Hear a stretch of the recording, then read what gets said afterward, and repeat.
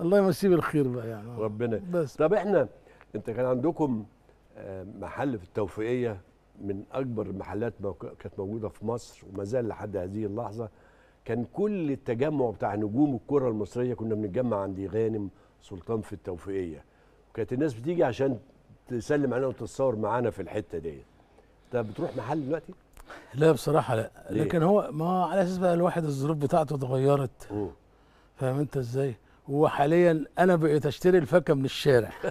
مش من عندكم؟ لا مش من عندنا ولا بتجيلك؟ و... لا بتجيلي ممكن آه. لكن يعني من الشارع. ولا بعتوا المحل؟ آه، لا موجودين يا أخواتي موجودين. ربنا يديهم ربنا الصحة. يديهم. الصحة والعافية. فهو فعلا كان هو سوق تبادل كان مشهور جدا تقريبا في مصر. ده كان زي الشواربي آه، والحاجات دي. وإحنا كنا غالبا ال- يعني كلنا كزمايل بقى سواء جايين من الثوره الرياضيه أو من منتخب مصر بنقعد في الحتة دي ليه؟ دي قريبة من محلات الأكل وقريبة من السينمات. مش فإحنا الكلام. كنا نيجي إيه نتواعد. السنتر بتاع البلد. آه فكنا نتواعد انت بعد ما تتمرن بتاع هنقعد نروح عند غانم وبعد كده نروح سينما متر ونروح سينما قصر النيل وكنا من هنا إيه هو ده الفكرة بتاعت كنا المواعيد. بنروح آه، بنتقابل ونخش السينما ويطلع نتعشى ساعات حواوشي أول ما طلع جديد عند الحواوشي عند مصطفى الحواوشي عند آه. مصطفى الحواوشي بعد كده غانم سلطان يقول لنا تعالوا بقى أكلكم فاكهة زي ما بقول لكم ال- اللي هي كانت معطنه وبايظة ده طبعا عليها. ده طبعا كلام يعتبر إيه ضد لا. ال لا أنت طول عمرك راجل كريم يا غنوم يخليك طيب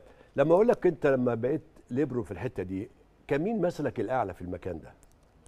ما هو المكان ده أساسا ما كانش موجود في مصر ده يعني كان position لسه طرق جديدة بتتعمل كويس كان أول واحد بيلعب في الحتة دي كان حسن حمدي هنا في في الأهلي وإحنا كابتن شربيني كمان بدأها في النادي الأهلي لا الشربيني كان بيلعب في نص الملعب ورايح جاي كده يعني طب الكابتن أحمد مصطفى ما لعبش لا لا لا؟ كان سرد باكات سرد باكات ما كانش فيه. إحنا إحنا أول الطرق الجديدة دي مم. هي كان إيه في الأيام بتاعتنا دي فكان حسن حمدي في الأهلي آه غانم سلطان في الزمالك وبعد كده إبراهيم يوسف بعدية رحمة الله آه عليه. يعني فمن هنا يعني كانت أماكن تعتبر جديدة أنت شايف دلوقتي بتتعمل ولا ما فيش دلوقتي حد بيلعب؟ لا دلوقتي أي واحد ما عندوش فكرة يجي يطلع يقول لك إيه كسبنا عشان غيرنا الطريقة بقينا خمسة ثلاثة واحد آه. أي كلام برضه وهي ما- ده أنا أنا بسمع ساعات معلقين بيعلقوا على المباراة يقول لك المدرب ده أول ما, بي... ما لسه ما. ما, ما الكرة ما اتسنطرتش في نص الملعب يقول لك المدرب بيلعب اتنين واحد ستة مش عارف إيه الطريقة بتتغير حسب اللعب اللي موجودة وحسب إمكانيات اللعيبة اللي عندك.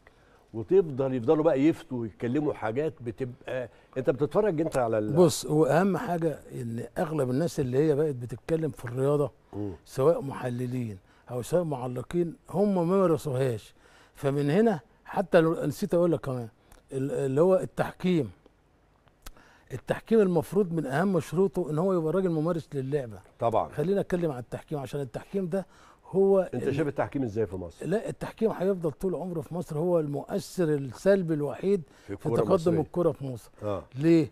أول حاجة الحكم غالبا ما بيبقاش ممارس اللعبة دي. وكده- هيحس باللعيب في الملعب. آه مش هيحس باللعبة اللي هي اللعبة قدامه. نفسها اللي حسبها آه. ودي مهمة ما يفهمهاش غير اللعيبة. دي حاجة. نمرة اتنين بتبقى قراراته فيها شيء من العصبية والنظرية. يعني ممكن تيجي ضد أي فرقة؟ ده مليون المية. ده هم أغلب الناس اللي بيخلصوا على الفرق.